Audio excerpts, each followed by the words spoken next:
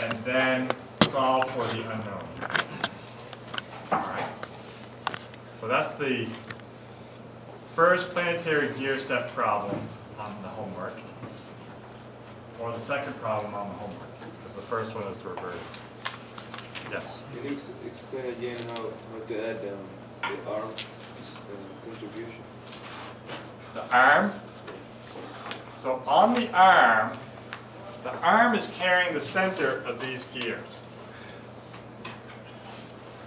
And so that is why when I look at either gear uh, three or four, whenever I add that component, I have to account for the arm carrying that, that center.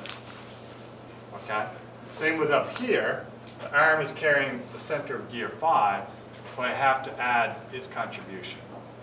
But on gear two, because gear two is pinned to ground, the velocity of its center is zero.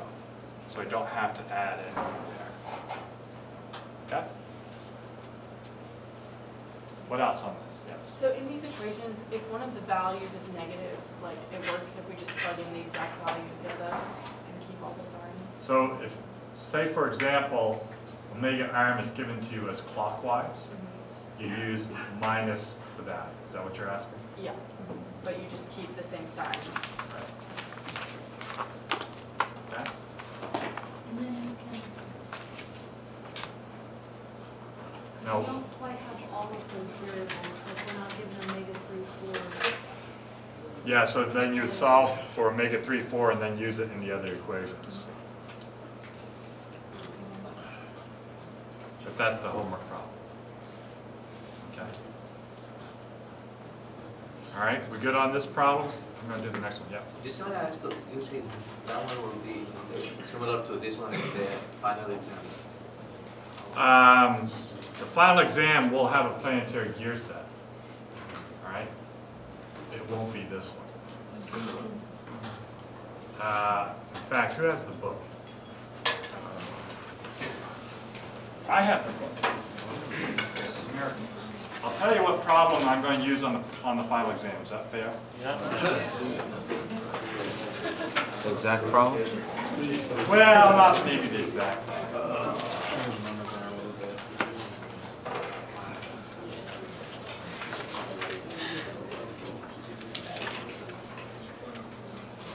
On page 514, I'm going to use one of these. Yeah, that's a lot. I'm going to use that one there. See that one? Yeah. Yeah. All right.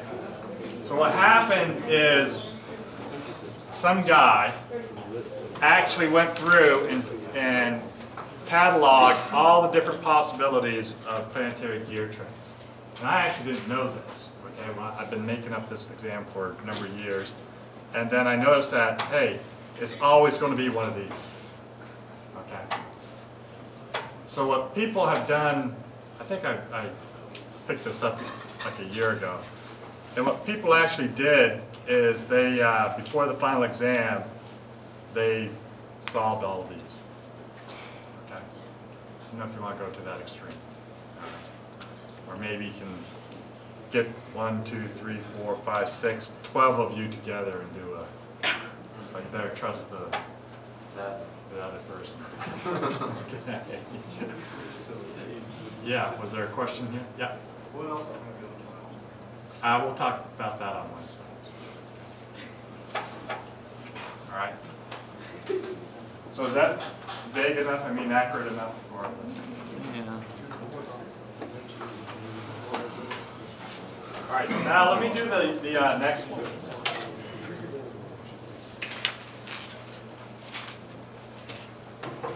Okay, so on this one here, you really do need to have both views. So you're asking earlier,